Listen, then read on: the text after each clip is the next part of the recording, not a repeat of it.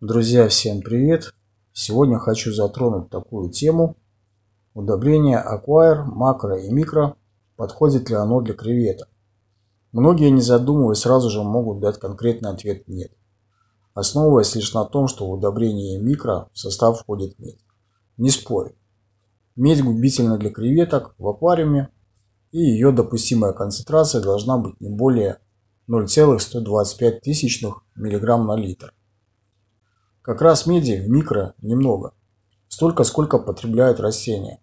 При соблюдении инструкции креветкам в аквариуме удобрения не навредят. Скажу из личного опыта. Ни макробрахиумом, ни чериком, оранжевая сакура, аквайр, микро, макро точно не вредят.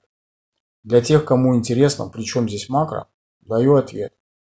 Макро в комплексе с микро обеспечивает аквариумные растения полным составом питательных элементов.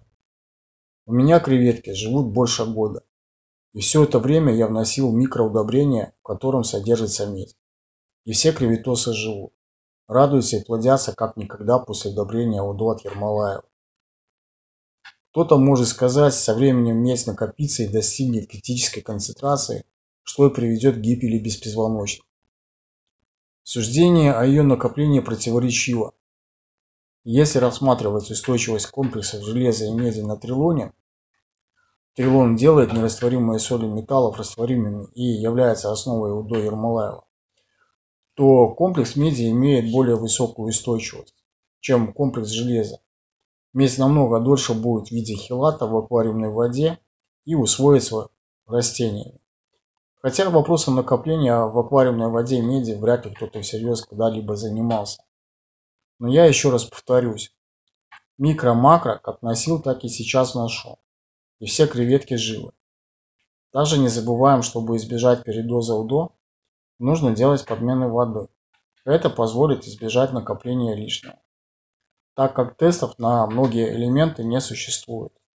Делаю подмены раз в неделю 25-30% от общего объема аквариума.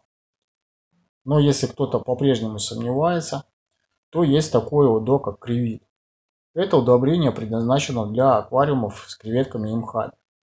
На этом у меня все. Добавляем ваши комментарии под видео. Всем спасибо. До новых встреч.